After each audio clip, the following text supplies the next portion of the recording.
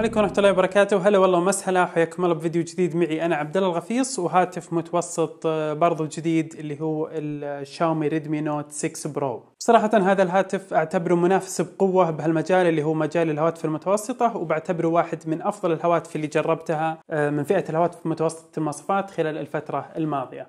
طبعا خلونا نبدأ ونشوف اللي هو فتح الصندوق بما أنه يهم آه، كثير من الناس اللي تبغى تشتري الهواتف المتوسطة أول حاجة عندك الجهاز نفسه طبعا أنا حطيت الجهاز هنا آه، علشان نشوف بس المحتويات. وبعد كذا في عندنا الكتيبات والدبوس حق الشريحة وكذلك ال cover اللي هو cover السيليكون الشفاف.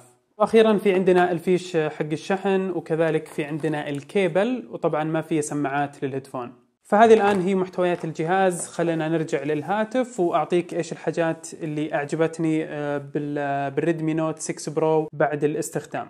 أول أمر وهو البطارية. عندنا هنا بطارية ب 4000 ملي أمبير وعلى هاتف متوسط وشاشة دقتها Full HD Plus فالأداء ممتاز وبيستمر معاك يوم ونصف بالراحة إذا كان استخدامك متوسط. كذلك الشاشة الكبيرة فعندنا الآن 6.2 إنش. وهي شاشة عرض كاملة مع ال notch الموجود بالأعلى. لكن لو بنتكلم عن الدقة والألوان فالشاشة اي بي اس ال سي دي ودقتها يعني أشوفها ممتازة. ودقتها Full HD Plus مع طبقة حماية Gorilla Glass آه، غير معروف إصدارها. وبشكل عام الشاشة مقبولة على هذا الهاتف. كذلك الكاميرا في عندنا أربع كاميرات اللي هي كاميرتين بالخلف وكاميرتين بالأمام وال Redmi Note 6 Pro متميز بالكاميرا الأمامية اللي هي كاميرا السيلفي فدقتها أعلى وهي 20 زائد 2 ميجا بكسل ونتائجها ممتازة. أما الكاميرا الخلفية فهي 12 زائد 5 ميجا بكسل مع فلاش LED الثنائي. كذلك في عندنا مواصفات ممتازة للهاتف وطبعا فيه اللي هو أشعة ال IR وفي عندنا ال FM radio والبلوتوث ال 5.0 ومنفذ 3.5 للصوت.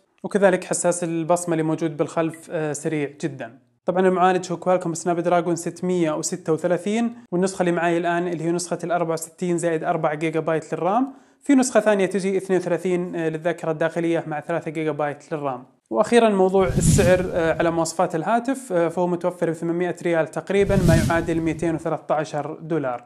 طبعا هذه الحاجات اللي أعجبتني بالهاتف الآن خلونا ننتقل للأمور اللي ما أعجبتني بعد الاستخدام. أول حاجة منفذ الشحن آه، واللي هو micro USB. صراحة تمنيت لو إنه يكون USB C وهذا العيب يعني شفناه كثير هواتف الفئة المتوسطة. آه، لكن هنا آه، مع البطارية ال 4000 يعني عانيت من موضوع الشحن. آه، يعني شحن بطارية الهاتف صراحة بطيء مع هذا المنفذ. لو كان في USB Type C أكيد إن الشحن بيكون سريع وبتكون يعني شحن البطارية أفضل من الوضع الحالي. وكذلك عدم توفر سعة تخزين أعلى من ال 64 جيجا بايت اللي هي سعة تخزين داخلية. صحيح في عندنا ذاكرة خارجية لكن تمنيت لو كان فيه 128 جيجا بايت على الأقل. كذلك أداء الكاميرا الخلفية ما كان ممتاز وأتمنى إنه في تحديثات قادمة تحسن من المعالجة آه، خاصة للصور الليلية. وأخيرا عندنا موضوع التصميم تمنيت لو يعني يتغير فصراحة من فترة طويلة وحنا نشوف هذا التصميم بهواتف آه، يعني ال Redmi Note أو ال Redmi بشكل عام من شاومي. فهذا كان استعراضي السريع للهاتف. أتمنى أن هالفيديو أفادكم. كالعادة شاركوني رأيكم بالتعليقات ولا تنسون اشتراك و like وتفعيل زر التنبيهات. وأشوفكم في فيديو جاي. والسلام عليكم.